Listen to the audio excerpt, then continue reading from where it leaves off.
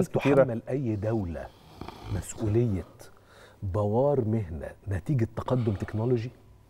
لا طبعا يعني لا- لا، أنت أنت كمان لما تدور بقى كمان ماذا قدمت الدولة لل للمحدود الدخل بلاش الفقراء خلال السنين اللي فاتوا معاشات زادت بنسبة كبيرة تكافل وكرامة آه، مشروع رائع آه، فيروس سي مشروع طبعاً. رائع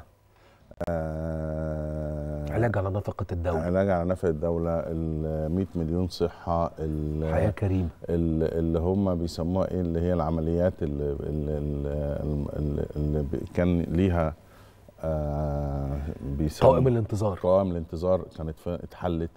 فكل ده اتعمل.